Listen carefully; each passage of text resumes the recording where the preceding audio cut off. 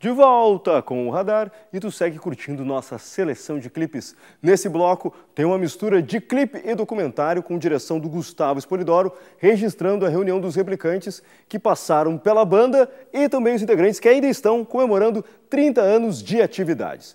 Depois tem o vídeo da banda Platinos e da Eu Acuso para fechar o Radar de hoje. Confere aí.